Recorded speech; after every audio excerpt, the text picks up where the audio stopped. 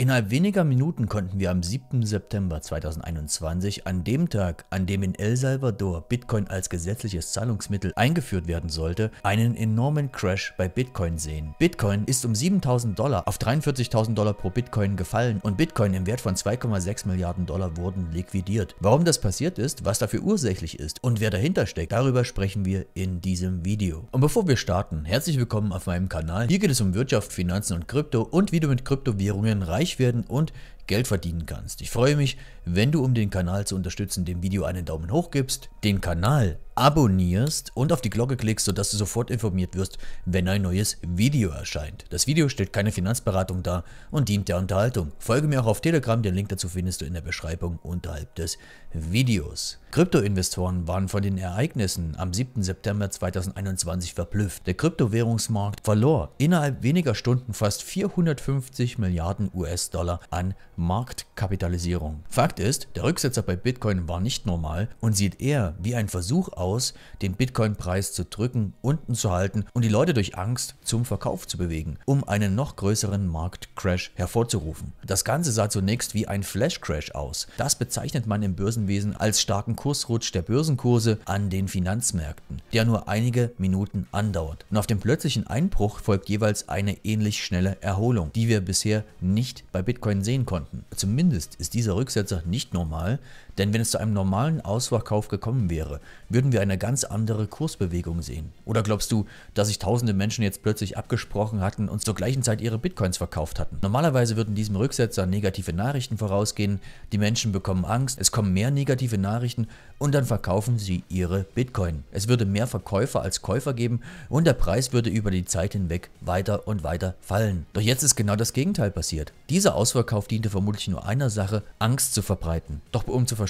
was genau passiert ist, schauen wir uns mehrere Dinge an, die vor dem 7. September 2021 geschehen sind. Wir wissen, dass El Salvador Bitcoin als gesetzliches Zahlungsmittel einführen wollte bzw. eingeführt hat. Wir wissen, dass es zuvor in El Salvador Proteste gegenüber Bitcoin gegeben hat, dass die Menschen sich vermutlich nicht sicher waren, ob die Entscheidung des Präsidenten Najib Bukele, Bitcoin einzuführen, die richtige war. Wir wissen auch, dass der Internationale Währungsfonds und die Weltbank gegen die Einführung von Bitcoin als gesetzliches Zahlungsmittel waren. Und Präsident Najib Bukele hat sich aufgrund des Crashs beim Internationalen Währungsfonds bedankt, da die seiner Meinung nach hinter dem Crash stecken. Und El Salvador konnte durch diesen Rücksetzer weitere 150 Bitcoin kaufen und verfügt nun über 550 Bitcoin. Und über den Internationalen Währungsfonds, was sie gemacht haben, darüber sprechen wir gleich noch, bleib also dran. Was wir vor dem Crash auch sehen konnten, ist ein wochenlanger konstanter Anstieg des Bitcoin-Preises. Und wir konnten sehen, dass die Hebelung im Kryptomarkt und insbesondere bei Bitcoin sehr hoch war. Die Menschen waren gierig, wollten mehr Geld verdienen, schnell reich werden und dann kam es zum Absturz von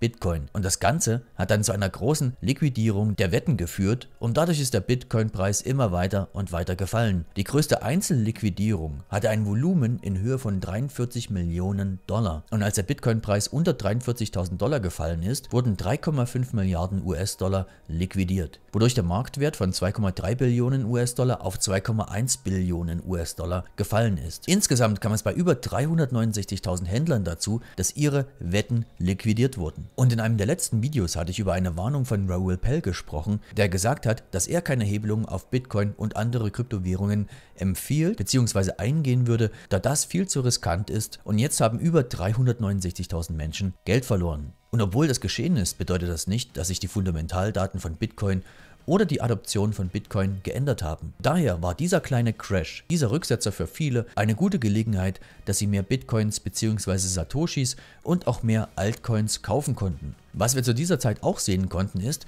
dass viele über Coinbase Binance und andere Handelsplattformen keine Kryptowährungen kaufen konnten bzw. sich nicht einloggen konnten. Anscheinend war der Ansturm zum Kauf von Bitcoin und anderen Kryptowährungen so groß, dass das für viele nicht möglich war. Das heißt aber auch, dass die Gebühren bei Coinbase gestiegen sind. El Salvador hat, wie du weißt, ebenfalls Bitcoin gekauft und viele haben die Gelegenheit des Rücksetzes genutzt, um nachzukaufen. Eine Sache ist trotzdem immer wieder verblüffend. Die zentralisierten Handelsplattformen wie Coinbase oder Binance waren schon während des Anstiegs von Bitcoin auf 64.000 Dollar pro Bitcoin teilweise nicht erreichbar. Sie waren überfordert vom Ansturm der Menschen, die sich auf diesen Plattformen angemeldet hatten. Dann waren sie während des Bitcoin-Crashs Anfang 2021 überfordert. Zu diesem Zeitpunkt war es nicht möglich, Bitcoins zu kaufen oder zu verkaufen und jetzt Auch wieder nicht. Was ich mich der Frage ist, diese Plattformen gibt es nicht bereits erst eine Woche, sondern seit Jahren. Ist es da nicht komisch, dass sie bis jetzt nicht die entsprechenden Ressourcen bereitstellen konnten, die solche Probleme verhindern würden? Daher sind dezentralisierte Handelsplattformen so wichtig, dass die Marktmacht von den zentralisierten Plattformen weggenommen wird. Was auch spannend ist, noch vor ein paar Jahren, um genau zu sein 2017, wurde vom damaligen Internationalen Währungsfonds Vorsitzenden Christine Lagarde das Ende des Bankenwesens und der Triumph der Kryptowährungen prognostiziert. Zu diesem Zeitpunkt hatte sich der Bitcoin-Preis bei knapp 4000 Dollar pro Bitcoin befunden. Und in einem bemerkenswert offenen Vortrag zu dieser Zeit auf einer Konferenz der Bank von England hat der Vorsitzende des Internationalen Währungsfonds spekuliert, dass Bitcoin und Kryptowährungen eine ebenso große Zukunft haben werden wie das Internet selbst. Sie hat 2017 also zugegeben, dass Kryptowährungen eine ähnliche Entwicklung, vermutlich sogar eine viel, viel stärkere Entwicklung haben werden als das Internet. Das hatte ich auch in einem anderen Video bereits beschrieben, dass die Adoption von Kryptowährungen viel stärker die Gesellschaft beeinflussen wird, die Welt beeinflussen wird, als das Internet. Sie hat zu diesem Zeitpunkt gesagt, dass Kryptowährungen bzw. Bitcoin die Zentralbanken und das konventionelle Bankwesen verdrängen könnten und das könne dazu führen, dass das Monopol nationaler Währungen in Frage gestellt wird. Und im Grunde genommen können wir das gerade sehen. Lagarde sagte weiterhin, dass nicht vor allzu langer Zeit einige Experten argumentierten, dass PCs niemals eingeführt werden würden, dass Tablets nur als teure Untersetzer für Kaffeetassen dienen würden. Daher sagte sie, dass es nicht ratsam ist, virtuelle Währungen, also Kryptowährungen, abzulehnen. Und das hatte sie zu einer Zeit gesagt, wo der Bitcoin-Preis niedrig war, wo der Bitcoin-Preis keine Bedrohung für das Finanzsystem dargestellt hat. Die Frage ist, würden Zentralbanken, die Geld aus dem Nichts erschaffen können, oder auch der Internationale Währungsfonds, der ebenfalls durch seine Special Drawing Rights Geld drucken kann, es zulassen, dass eine Kryptowährung ihr Machtmonopol gefährdet? Gegen Ende 2017 war der Bitcoin-Preis dann zum ersten Mal so hoch, dass Bitcoin mehr wert war als das Geld, was vom Internationalen Währungsfonds herausgegeben wurde. Das heißt, Ende September 2017 hat der damalige Vorsitzende des Internationalen Währungsfonds, Christine Lagarde, gesagt, dass Bitcoin keine Bedrohung für das Fiat-System oder die Zentralbanken darstellt und kurze Zeit später hat die Marktkapitalisierung von Bitcoin die des Internationalen Währungsfonds übertroffen. Und seitdem sind laut des Internationalen Währungsfonds Bitcoin und Kryptowährungen generell eine Bedrohung für das Fiat-System, für die Stabilität der Weltwirtschaft. Und sie bringen oft das Beispiel, dass Kryptowährungen zur Geldwäsche genutzt werden. Und insbesondere dieser Punkt ist lächerlich, denn mit Fiat-Währungen wird 400 mal mehr Geld gewaschen als mit Kryptowährungen. Glaubst du wirklich, dass der Internationale Währungsfonds das nicht weiß? Warum wird dann immer das Narrativ bedient, dass Kryptowährungen für illegale Aktivitäten genutzt werden? Und zugleich wird im Hintergrund die Menge des Geldes, das der Internationale Währungsfonds drucken kann, erhöht. Warum? Sie sehen Bitcoin als Bedrohung und wollen nun mehr Geld an andere Länder verleihen. Das wird unter anderem auch der Grund sein, weshalb der Präsident von El Salvador diesen Tweet veröffentlicht hat. Was spannend ist, am 6. September, also einen Tag bevor Bitcoin offizielles Zahlungsmittel in El Salvador wurde und es zum Crash kam, wurde in Panama bekannt gegeben, dass sie eine Veränderung des rechtlichen Status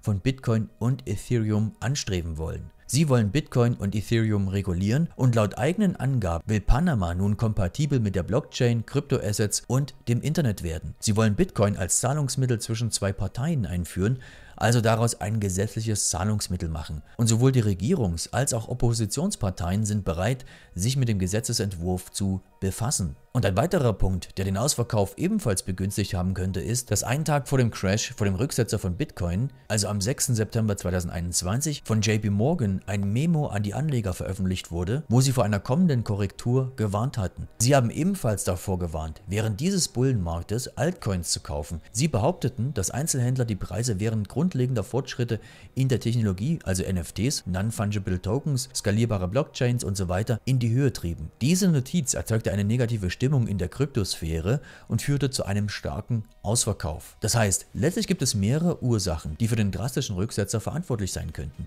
Wir haben den Internationalen Währungsfonds, der 2017 Bitcoin noch nicht als Bedrohung wahrgenommen hat und seitdem die Marktkapitalisierung von Bitcoin die des Internationalen Währungsfonds übertroffen hat, ist Bitcoin nun die größte Gefahr für das gesamte Fiat-Geldsystem. Vermutlich will der Internationale Währungsfonds ebenfalls verhindern, dass mehr und mehr Länder Bitcoin als gesetzliches Zahlungsmittel einführen führen, da das dann ihre Legitimität in Frage stellen würde. Dann konnten wir zusätzlich noch sehen, dass es durch den Crash zu Liquidationen von über 369.000 Tradern gekommen ist und wenn der Bitcoin-Preis noch weiter fällt, kommen noch viel, viel mehr dazu und wir konnten zusätzlich noch eine Ankündigung von JP Morgan an die Kunden von JP Morgan sehen, wo sie vor einer Korrektur bei den Kryptowährungen gewarnt wurden. Das heißt, wir konnten in einem kurzen Zeitraum viele verschiedene Dinge sehen, die dazu geführt haben, dass der Bitcoin-Preis gefallen ist. Die Frage ist hier natürlich, ob das alles zufällig geschehen ist oder ob das nicht der Fall war und es beabsichtigt war, dass zu diesem Zeitpunkt all diese Dinge geschehen. Trotzdem ist eines auch Fakt, obwohl diese Dinge geschehen sind, bedeutet das nicht, dass sich die Fundamentaldaten von Bitcoin und der Bitcoin-Adoption geändert haben. Das Gegenteil ist der Fall, daher können wir das jetzt auch als Möglichkeit zum Nachkaufen von Kryptowährungen sehen. Was ist deine Meinung dazu? Glaubst du, dass sich der Bitcoin-Preis wieder erholen wird und wir bald schon die 100.000 Dollar pro Bitcoin sehen werden? Oder war das jetzt erst der Anfang des Rücksetzers des Bitcoin-Preises? Schreib mir deine Meinung in die Kommentare, gib dem Video, wenn es dir gefallen hat, einen Daumen hoch, teile das Video, abonniere den Kanal und klick auf das Glockensymbol, damit du sofort informiert wirst, wenn ein neues Video auf dem Kanal erscheint. Wir sehen uns im nächsten Video. Bis gleich.